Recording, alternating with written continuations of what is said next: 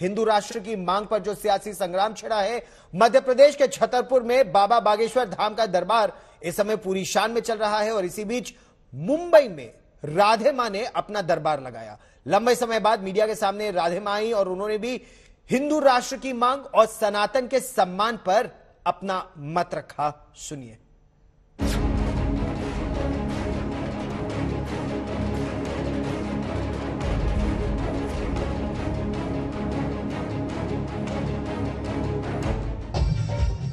मध्य प्रदेश से सैकड़ों मील दूर माया नगरी मुंबई से जो तस्वीरें सामने आई, वो आस्था के दरबार में एक नया सिलसिला है।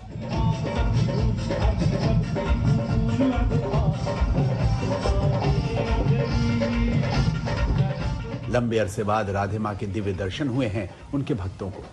इस मौके पर राधे माँ के भक्तों की भीड़ के साथ साथ कई नेता भी राधे माँ के दर्शन के लिए पहुँचे थे।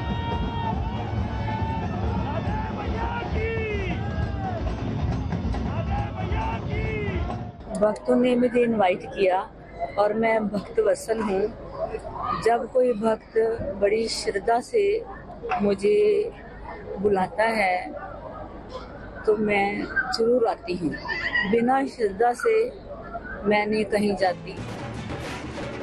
चूँकि बाबा बागेश्वर धाम ने जब से अपने दरबार में यह नया तराना छेड़ा है हम ऋषि परंपरा का अनुकरण करने वाले भारतीय सनातनी लोग हैं। हमें अपने वेदों पर, अपने इष्ट पर, ईश्वर पर भरोसा है कि हम जो अपने इष्ट से मांगते हैं, वो परमात्मा दिल खोल कर देता है। तो जब करोड़ों हिंदू इस तेरह फरवरी से उन्नीस फरवरी तक यज्ञ में ईश्वर से कामना हिंदू राष्ट्र की करेगा तो भारत हिंदू राष्ट्र बनेगा। बस तभी से हर एक दरबार में भक्त ऐसा ही कुछ सुनने को व्याकुल हो जाते हैं। लेकिन हर एक दरबार की रंगत और रीति दोनों अलग होती है। मेरी कोई से नहीं है।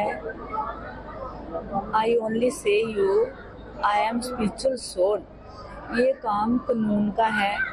मैं कानून के सामने नहीं आना चाहती। मैं हूँ राधे माँ। मैं सबको राह दिखाने वाली माँ हूँ। ये कानून के आड़े मैं नहीं आना चाहती। ये काम कानून का है। वो करे।